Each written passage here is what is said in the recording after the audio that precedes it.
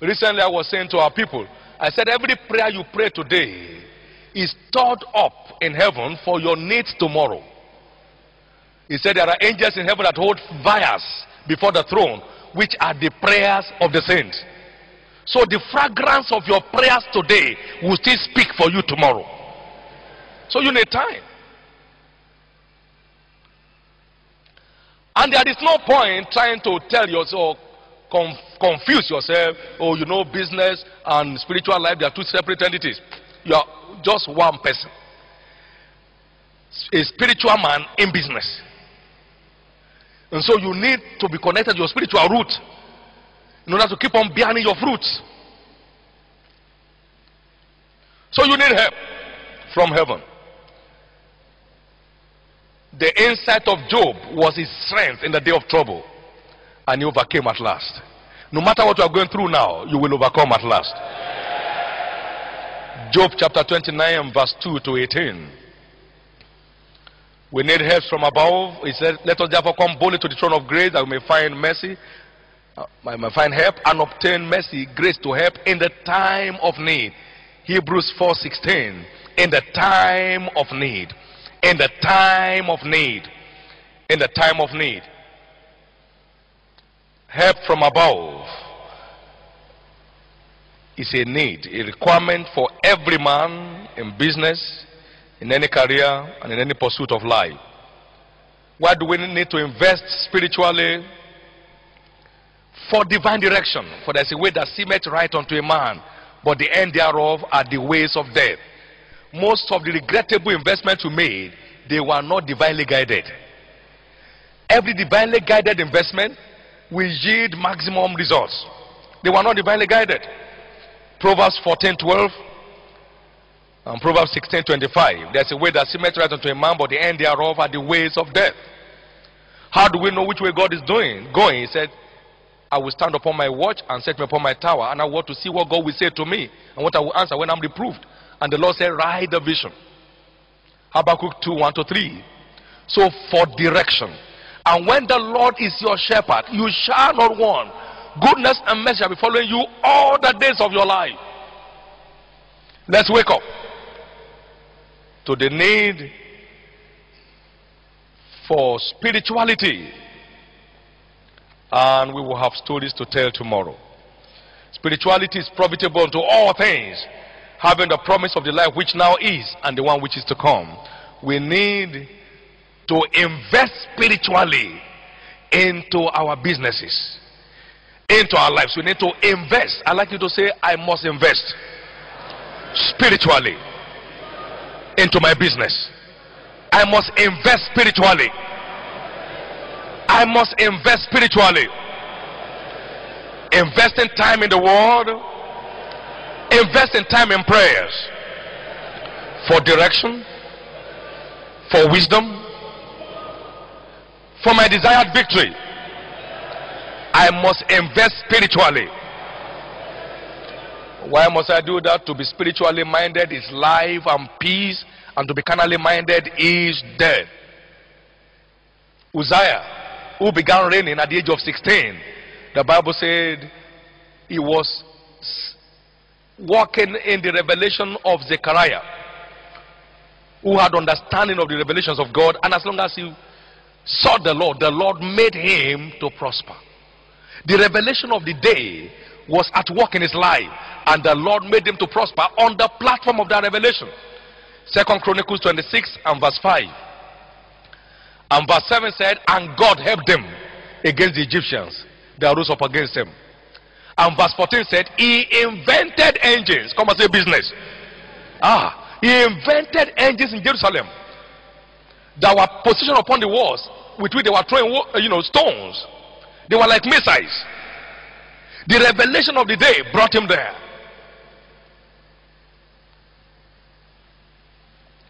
And the Bible says, because he was marvelously helped of God until he was very great.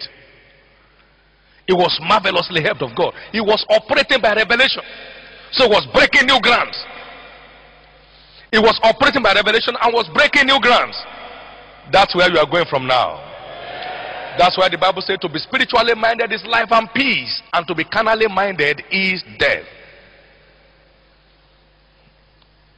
One of the greatest American businessmen by name J.C. Penney. J.C. Penney was taught by his mother to have a quality walk with God. And just like the story of R.G. LeTourneau, at a point he felt, look, maybe we try the other side. And everything came crashing down until he came back on his feet with God. And then God restored his glory back in business. I know there are people here who have tried the other side. And the thing was hitting the, the rock. And you are here in this meeting. This is your best opportunity to retrace your steps. I said in my last series of teachings on prosperity, God does not need you for anything.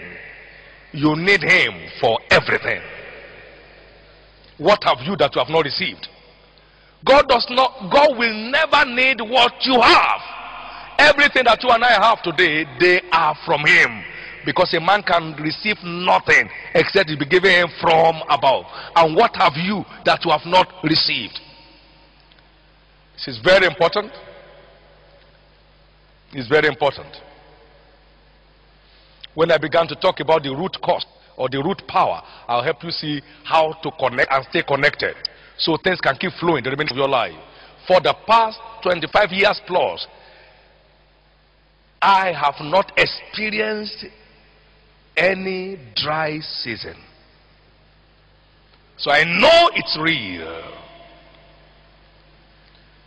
For the past 25 years plus, we had never had a better last year.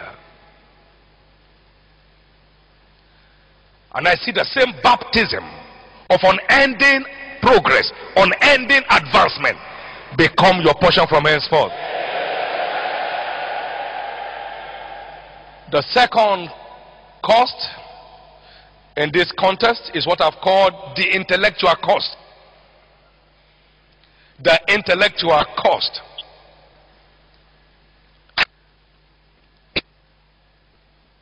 Knowledge is power.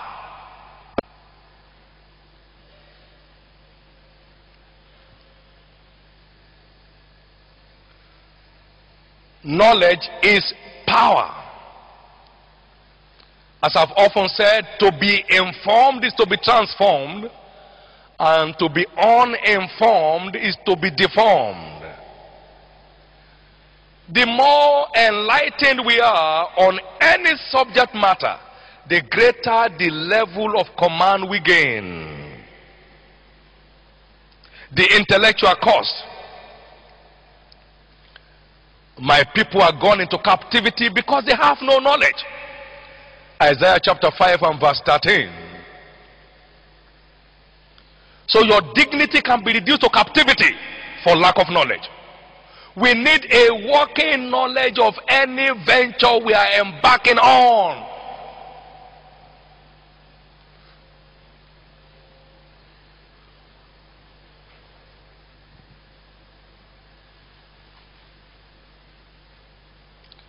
He said, Ride on prosperously and in majesty because of truth.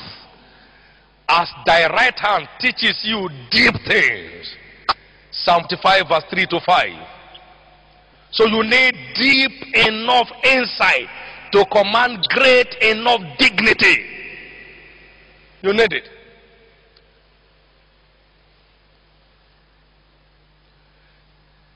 Any vision that is void of adequate information we end up with frustration. It is information that gives value to every vision. I knew God told us to embark on Covenant University as a project. That was great. Mm. But time was invested in searching and researching what kind of university are we heading for. So models were reviewed from a thousand years plus behind till the present day. Which kind of university are we looking at? Explorative studies of Cambridge University, explorative studies of Oxford, of Yale, of Harvard, were done with a deep sense of commitment to find a bearing for this university vision. And when we started, and tradition was trying to contend with the vision, I told them in one meeting, I said, Stop. I know what I saw. When I see what I saw, I will know. What I'm saying now is not what I saw. So it's not just having the vision, it is having adequate information with which to drive the vision. Information is the vehicle with which every vision is driven to its accomplishment. If you don't have it, you don't have it. When I was called into ministry business, I spent and invested time on explorative studies of vibrant ministries of yesteryears. The time I stepped into ministry, I was already more than 20 years matured in ministry, as it were had read all the readables in line with my calling. I'd gone through 39 biographies, selected biographies. Had come to understand what makes ministry great and what makes it low. I'd come to see how to escape a crash in the pursuit of a divine assignment. So it was easy intellectual cost. That is where many people in the church crash today. People are in business they don't know one thing about. I know God will do it. I know God will do it. I know. You, I, will God cook for you and serve your table and put the water in your mouth? Will God ever bath for you? Your wife say, Go to the bedroom and say, No, I know God will do it. You will so smell, they will sack you where you're working. It's so important the intellectual cost has been ignored. That's why many businesses are short lived in Africa. That's why many businesses don't outlive their founders. They crash before the men themselves die.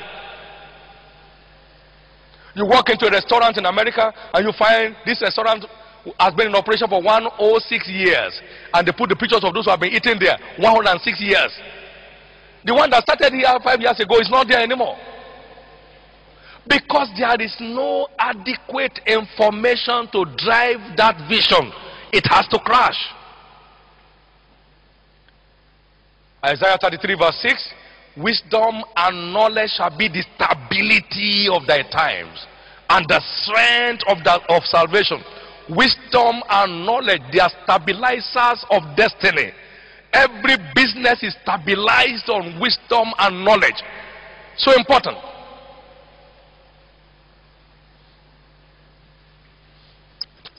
If jesus studies, i can almost tell you where this ministry will be in 100 years from now. We are already building plans for the generation coming after us the one that will take over from us. We are still on on the hotline. But we're already planning and programming for the generation that will take over from us.